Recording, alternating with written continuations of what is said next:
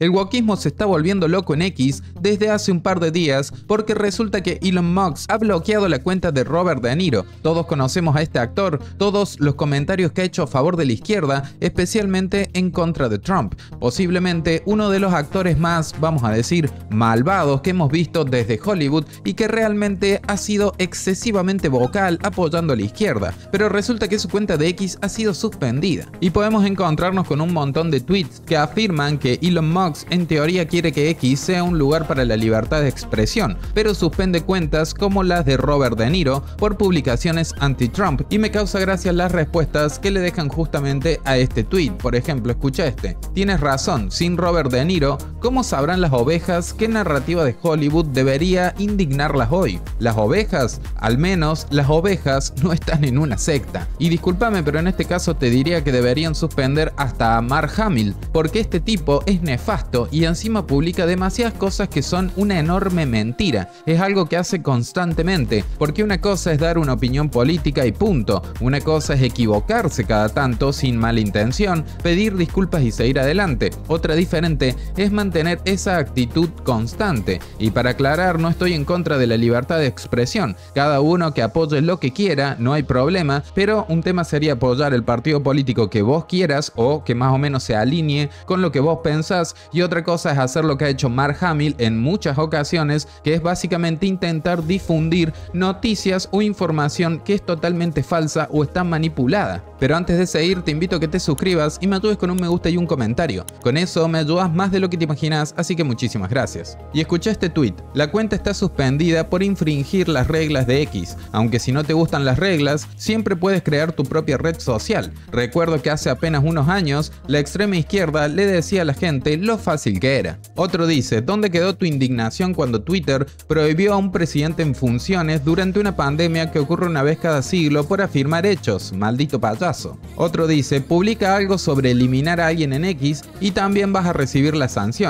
X simplemente aplica esto a todos. Se llama aplicar la misma regla a todos. Veamos, en términos generales, las interacciones entre el actor y el dueño de X han sido complicadas durante los últimos años por evidentes razones. Entonces, si nos ponemos a investigar un poco en X, ¿realmente fue suspendida la cuenta de Robert De Niro? Porque convengamos que no te pueden suspender la cuenta simplemente porque, no sé, estás a favor de un partido político o estás siendo sumamente activo en contra del otro. Sea como sea, es raro. Ahora, si revisamos un poco X, resulta que en teoría esta sería la cuenta oficial del actor. Sin embargo, no hay mucho en su cuenta en cuestión. Solamente nos encontramos con un tweet que es de 2014 y nada más que eso. La única conclusión simple que podemos sacar acá es que los progres se están volviendo loco y buscan cualquier clase de excusa para intentar atacar a la derecha y para poder gritar a los cuatro vientos que la libertad de expresión se encuentra en peligro, algo que hacen normalmente estas personas todo el tiempo. Honestamente no tengo idea cuál de estas cuentas será realmente la de Robert De Niro, tampoco es que me interese demasiado, de la misma forma que Mark Hamill o Mark Ruffalo, que generalmente esparcen mentiras, me parece que deberían bloquearlas, aunque sea temporalmente,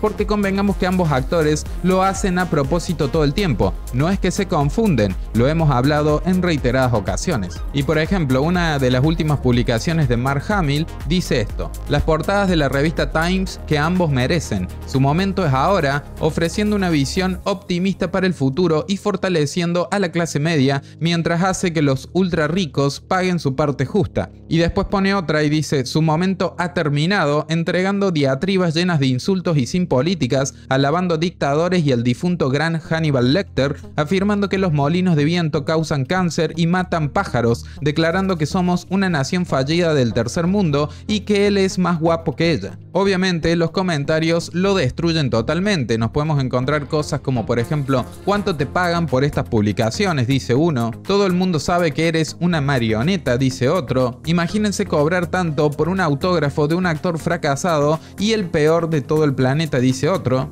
Y recordemos también esto, por ejemplo, que viene de Colin Rugg. El actor Robert De Niro dice que Donald Trump vendrá a buscarlo y cancelará el programa de Bill Maher si gana las elecciones 2024. El síndrome de trastorno por Trump ataca de nuevo. Si gana las elecciones, ya no estarás en el programa, vendrán a buscarme, pasarán cosas que ninguno de nosotros puede imaginar. Eso es lo que pasa en este tipo de dictaduras, fue justamente lo que dijo Robert De Niro. A lo que Elon Musk respondió justamente a esto, diciendo básicamente lo siguiente: ¿Cómo sobrevivió De Niro al primer mandato de Trump?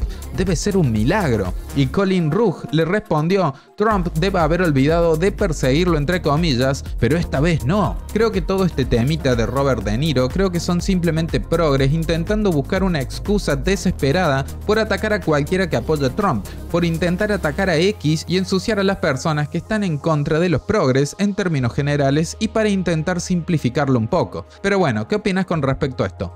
Déjame tu opinión en la caja de comentarios, dale me gusta y suscríbete, gracias por llegar hasta acá y nos vemos en el próximo video.